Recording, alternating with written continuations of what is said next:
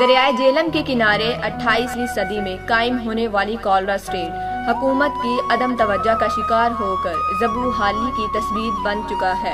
टवाना खानदान की खिदमत के एतराफ में अलाट की गई कॉलरा स्टेट जो आठ हज़ार सात सौ एकड़ पर मुश्तमिल है और ये एक वक्त में फलाही कामों का गढ़ रही है।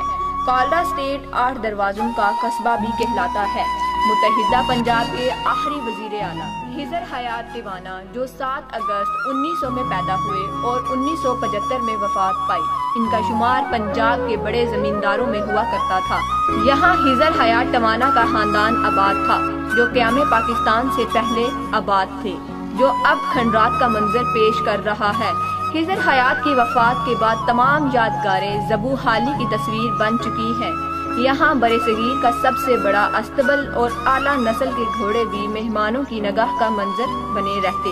1943 से उन्नीस सौ सैंतालीस तक मलक हिजर हयात टमाना के दौरे इकदार में बहुत से तामीराती काम हुए। उन्होंने तारीखी मस्जिद जामिया गोसिया कौला में यादगार मीनार पाकिस्तान लाहौर से ऊँचा मीनार बनवाया, जिसकी लंबाई 180 फीट और 100 फीट नीचे ज़मीन में है। ये मीनार हिजर हयात टवाना ने 1975 में तामीर करवाया। मलक हिजर हयात टवाना की ज़िंदगी में बरतानिया, अमेरिका और दीगर ममालिक से हर साल हज़ारों सयाह यहाँ आते। यहाँ की मेहमान नवाजी बहुत मशहूर थी। कहा जाता है कि हिजर हयात टवाना गरीबों, बेवाओं के हक में बहुत नरम दिल थे और हर पंद्रह दिन बाद यतीमों और बेवाओं में चालीस मन गंदम तकसीम करते थे।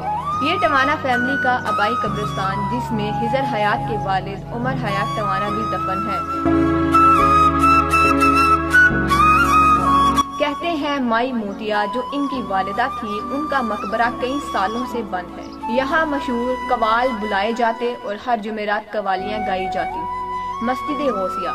मस्जिद गौसिया, जिसमें यतीम बच्चों को कुरानी पाक हिफ्स कराया जाता और दीनी तालीम भी दी जाती। जी, अस्सलाम वालेकुम। ਮਤਲਬ ਖਿਜ਼ਰ ਹਯਾਤ ਟਵਾਣਾ ਸਾਹਿਬ ਬੜੇ ਸਖੀ ਦਿਲ ਇਨਸਾਨ ਹੈਗੇ ਸਨ।